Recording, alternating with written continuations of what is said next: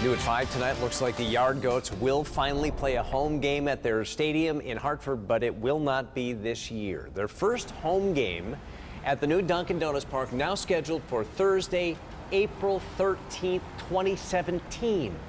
That game will be against the New Hampshire Fisher Cats. The Yard Goats were supposed to kick off their home games at the new stadium months ago, but that ballpark still is not done.